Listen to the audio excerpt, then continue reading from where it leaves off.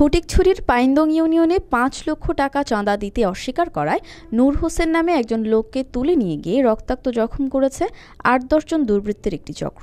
দুর্বৃত্তের ধারালো কিরিচের আঘাতে তার মাথা কেটে রক্তক্ষরণ, ঘাড়ে ছুরির আঘাত সহ শরীরের বিভিন্ন জায়গায় জখমের চিহ্ন দেখা যায়। এ সময় তার কাছে থাকা ব্যবসার নগদ এক লক্ষ ষাট হাজার টাকা, দুটি মোবাইল ও অস্ত্রের ভয় দেখিয়ে একশো টাকার নন জুডিশিয়াল তিনটি স্ট্যাম্পে জোরপূর্বক স্বাক্ষর নিয়ে নেয় দুর্বৃত্তরা। পরে স্থানীয়দের সহায়তায় পুলিশ গিয়ে তাকে উদ্ধার করে।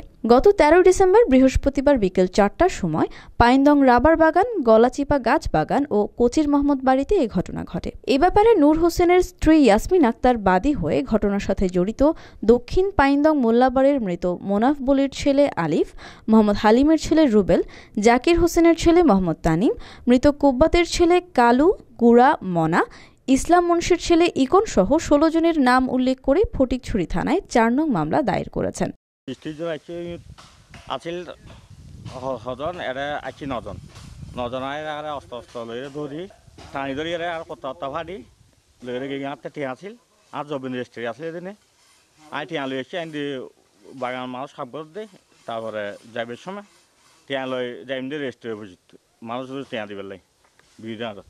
তারপরে দড়ি আর টিয়ামও লই বিলি নিয়ে আর মারি মাথা মাথা ফাড়ি।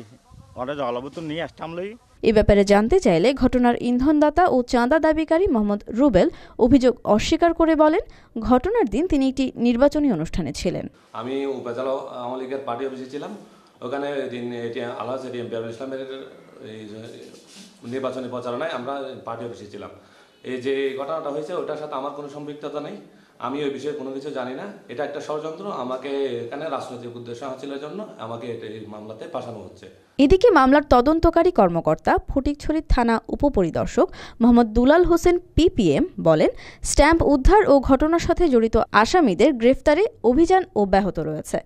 আসামিদের আটক করে খুব দ্রুতই আইনের আওতায় নিয়ে আসা হবে।